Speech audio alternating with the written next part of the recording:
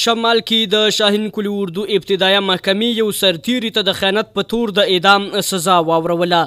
د یادې کلي اردو په قومندانۍ کې د شنبې په ورځ د جوړې شوې علني محکمې ته متهم محمد ابرار حاضر کړی شو او د اعدام د سزا ترڅنګ څه باندې څلور سوه زره افغانۍ نقدي جریمه هم پرې راغله. د یاد قضايي پلاوي معذب څارنوال شمس الرحمن ابراهیم خیل د محکمې په جریان کې وویل چې د دیارلس سوه پنځه نوي لمریز کال په کب میاشت کې محمد ابرار او د هغه ملګري احمد شاکر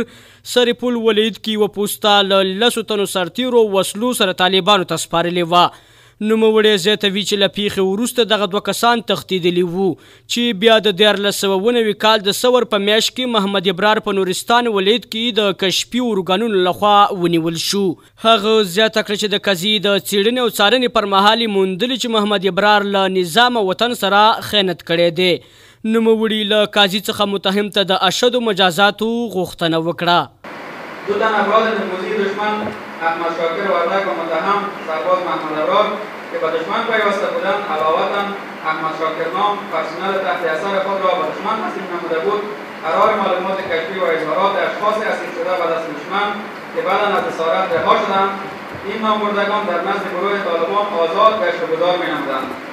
و مانند دیگر سربازان و بریدملان گستری پرتاب در قید و بند نبودند. په ورته وخت کې متهم محمد ابرار پر ده باندې لګېدلي ټول تورونه بې بنسټه بولي او ځان بې ګناه ګڼي. هغه وویل چې د دوی د ګزمې پر مهال طالبانو پر یاده پوسته برید وکړ،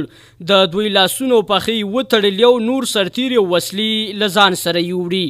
نوموړي د ده په تړاو د څارنوالۍ ټولې څرګندونې بې بنسټه وبللې. درې ساعتو او دوه ساعتو هماغه ځای کې کېناستم، هغه بېو سره خبرې مو کړ، یا ما بېو ته وېلې چې دا کار ما کړې، یا ما هلته جګ شوی وم څه خبره کړې یې چې صحیح ده زه ملامت یم،